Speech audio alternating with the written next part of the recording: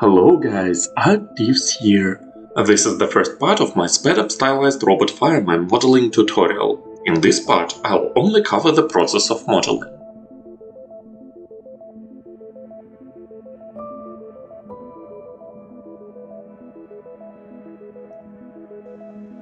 I start off by creating a hemisphere, applying an FFD modifier to it and blending it together with some kind of a ring handle.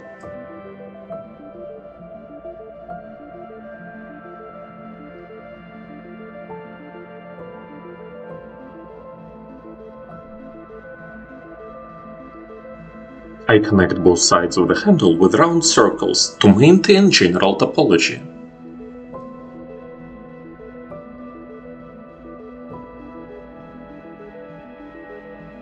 Then I create sides of an improvised head, make them thick enough, apply several additional edge loops and also a slight noise modifier, to give the metal a somewhat uneven shape.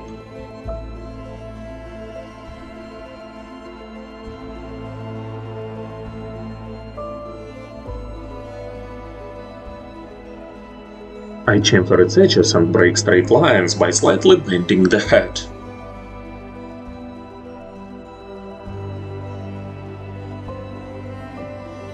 I use the 4x4 FFD modifier to create the initial shape of the robot's head.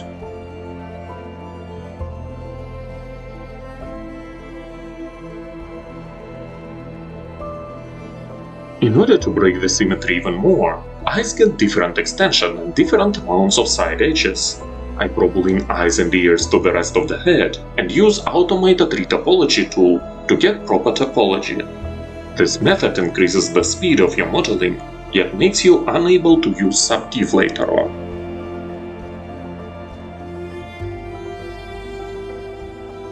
Also I move some vertices manually with edge constraint function enabled.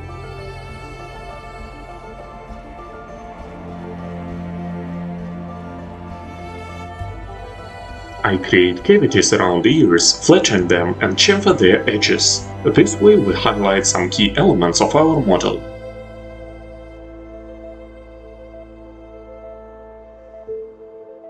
I use the 2x2 FFD modifier to give the robot's head a proper slope. Remember to get rid of symmetry and straight lines when possible.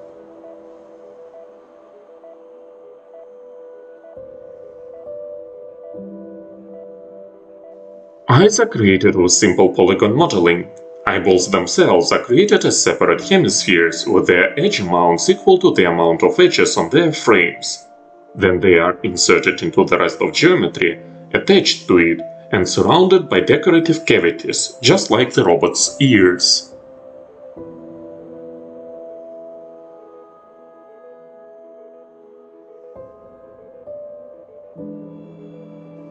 One of key features of this fireman robot is the alternation of smooth edges and edges that only have a single chamfer.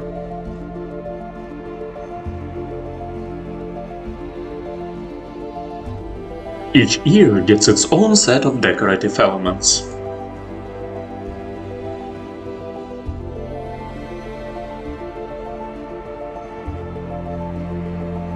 If you are applying similar or duplicated decorative elements to your model, make sure to break the symmetry by giving them some randomized rotation.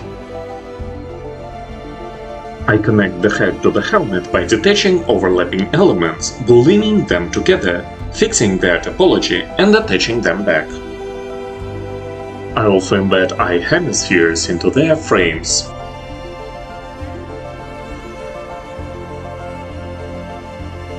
The torso is created as a simple box. I add some extra edge loops to it to deform its side slightly. Make sure you don't deform the frontal side though, because it will make it harder for you to get proper shading later on.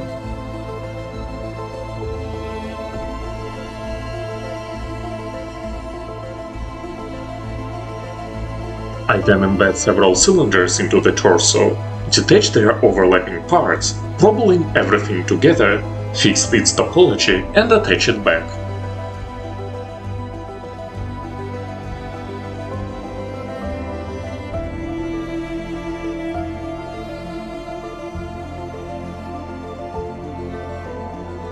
The topology is by no means ideal here, but since our frontal side of the torso is flat, it won't be noticeable on a finished model.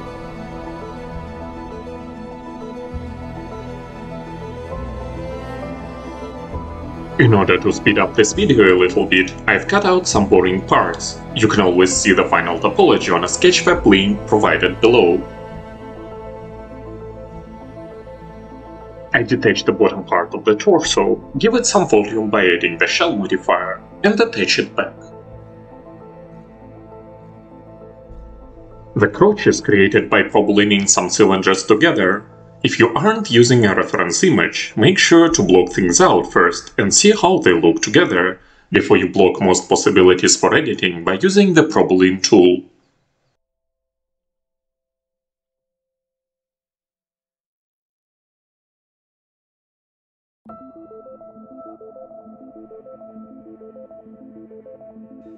Be sure to make key elements of the robot thick enough to match the overall stylized look. I also use same decorative patterns on different elements of the robot, like balls on some side parts.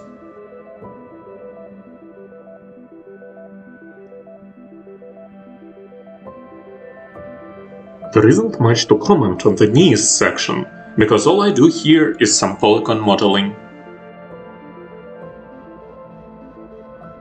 I use the ProBoolean tool to embed a cylinder into the knee, its middle will also serve as a rotation point for the leg below.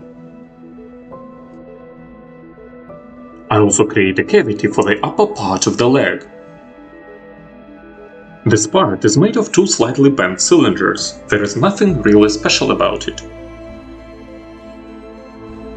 Just like before, I detach all intersecting parts, ProBoolean them together, fix their topology and attach them back.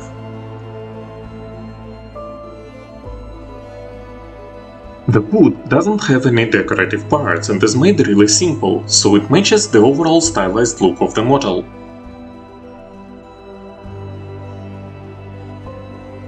We use the ProBoolean tool again to connect its parts. Make sure to increase the thickness of all elements when possible.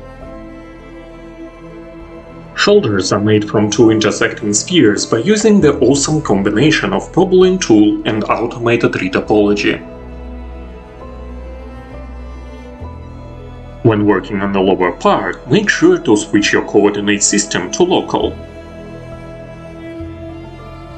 I recreate same decorative elements here that were used when working on robot's legs. The process of creation of each robot's part is pretty much the same. We start with blockout, ProBoolean everything together, apply automated retopology, and add some decorative elements.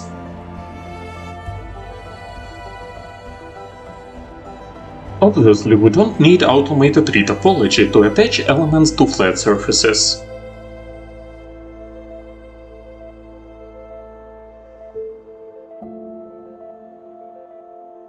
I used the shell modifier to give this nozzle some volume.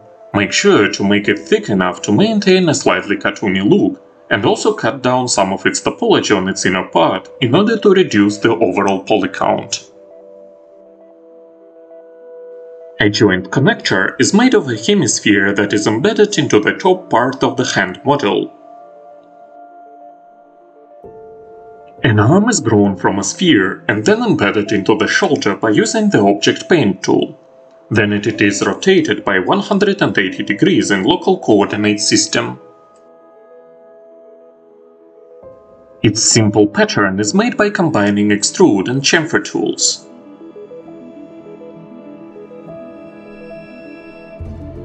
A similar decorative pattern is recreated on a fire extinguisher model.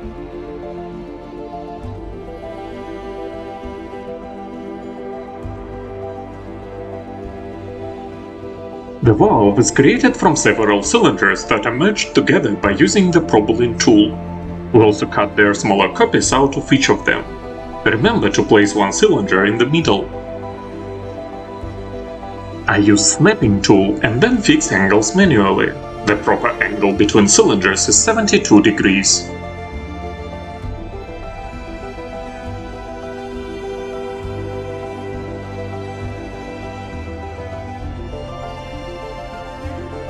Like before, I chamfer all hard edges here and then embed the middle element. You don't have to be precise here, as this thing isn't supposed to rotate.